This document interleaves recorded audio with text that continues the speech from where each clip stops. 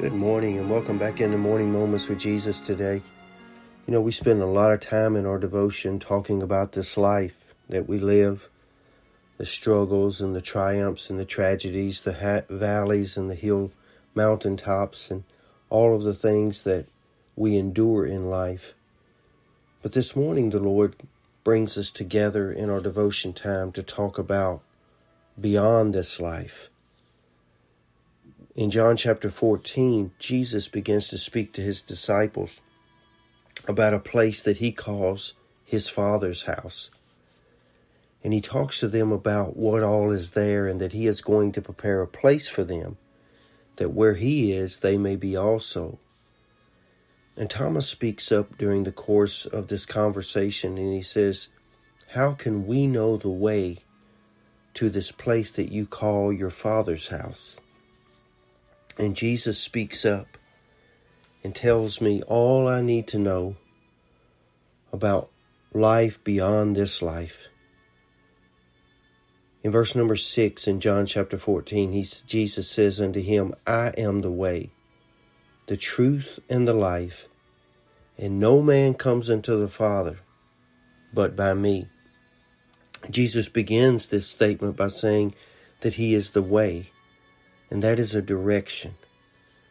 Many years ago in my life, I began to seek that direction because I believe there is something in all of us that seeks the heart of God, that knows beyond the shadow of a doubt, no matter what people may say, no matter whether they claim to believe in God or not believe in God, there is something in all of us who knows that there has to be more to life than this life.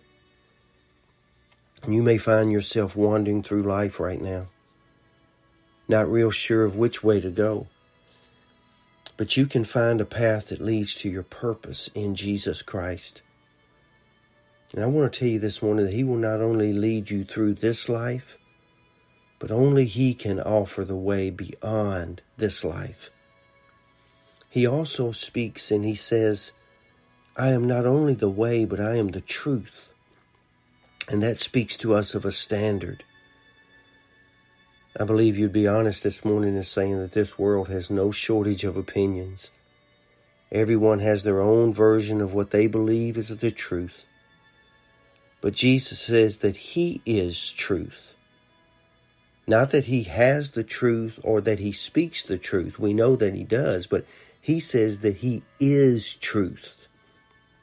He is called the Word in the Bible because every word in the Bible is wrapped around one simple truth that Jesus Christ is our gift of grace given to us that we may have eternal life beyond this life.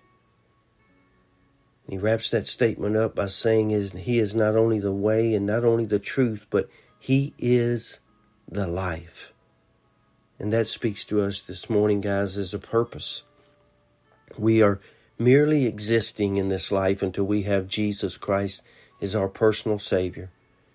But once you accept Christ as your Savior, He says to us in John 10 10 that He came to give us an abundant life, a life of purpose, a life of direction, and a standard by which to live by but he also gave his life that we might have life, yes, beyond this life.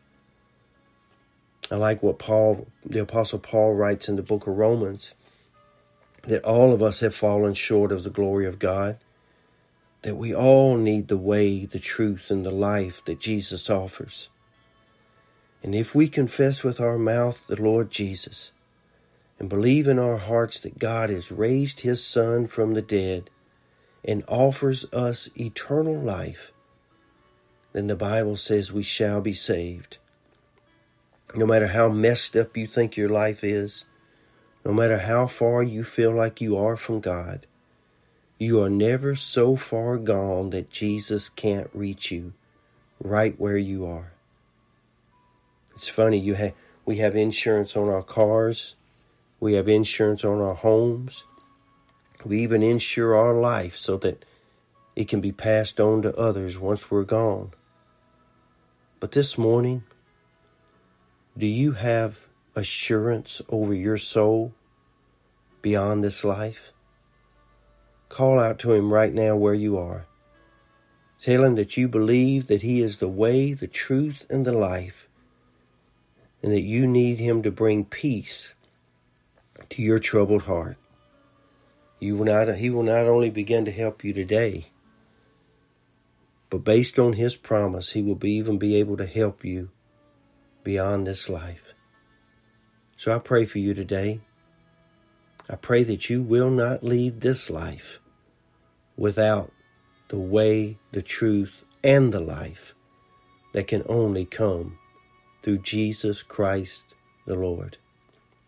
You be safe, you be strong, and you be blessed, and you be a person today that is prepared for life beyond this life. Lord's will, we'll see you back here again tomorrow.